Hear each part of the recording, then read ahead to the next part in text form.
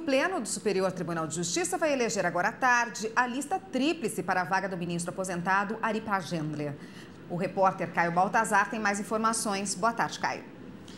Oi, Érica, boa tarde para você. A reunião para a escolha dos três nomes está marcada para as 5 horas da tarde, aqui no plenário do Superior Tribunal de Justiça.